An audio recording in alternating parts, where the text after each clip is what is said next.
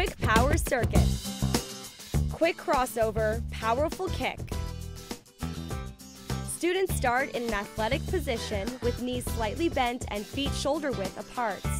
Students move laterally to the left by crossing their right foot over the left foot, then stepping the left foot across, planting that foot, and finishing with a powerful kick like a goal kick with the right leg.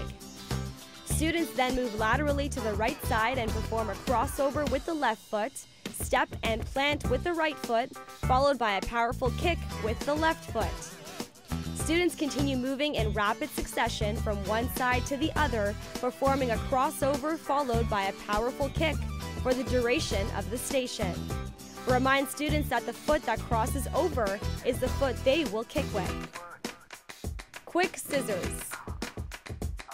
Students jump and land with one leg forward and one leg back, then immediately jump and land with opposite legs forward and back.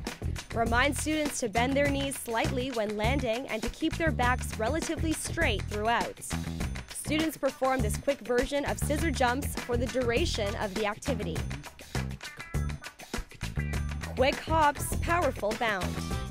Students hop sideways twice on one foot and then push off that foot and perform a powerful bound back to the starting position, landing on the opposite foot. Students then hop on that foot twice to the other side and then perform a powerful bound back. Students are reminded to bend their knees slightly when landing. Students continue to hop twice to a side and perform a powerful bound back to the starting position for the duration of the station. Pylon Quick Step. Students work in pairs. Each pair sets up three pylons in a straight line about one meter apart. The students assume an athletic stance with knees slightly bent and feet shoulder width apart. The first student shuffles sideways over the pylons, stepping over each pylon and bringing the back foot together with the lead foot between each pylon, and then jogs back to the start. As the first student begins to jog back to the start, the second student begins to shuffle over the cones. Students continue taking turns shuffling over the pylons for the duration of the station flurry with a trap and step. Students start in an athletic position and begin to perform the flurry.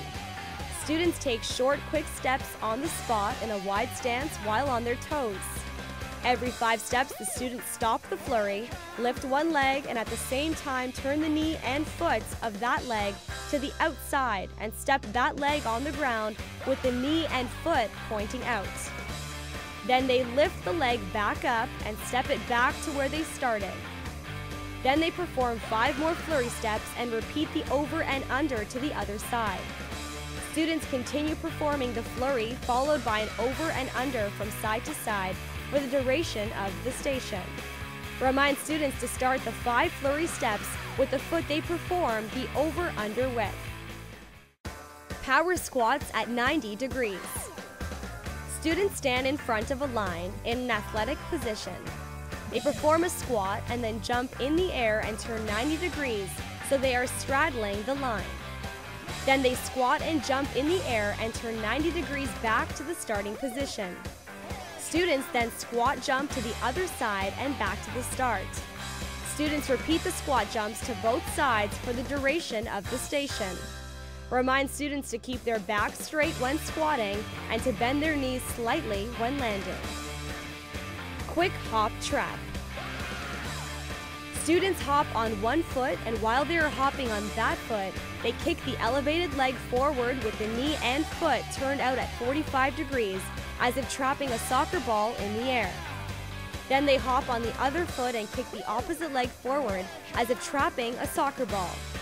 Students hop continuously from left foot to right foot, simulating a kick out and trap with the elevated foot for the duration of the station. Students can hop twice on each foot before changing sides for a different challenge.